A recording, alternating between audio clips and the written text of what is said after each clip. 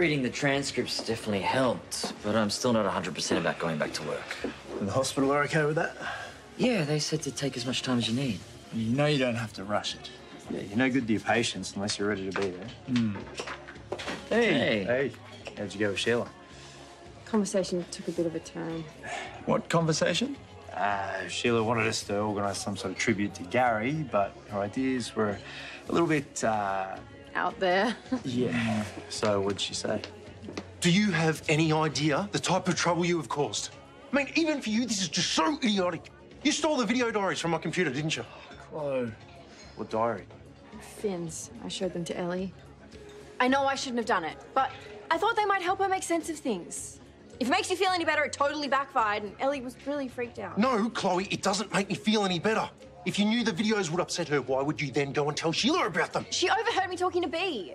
Sheila's got enough to deal with. How is this supposed to help her? I'm sorry. This is going to have serious consequences for you and me. Mark, she said she was sorry. Yeah, well, sorry might not be good enough this time.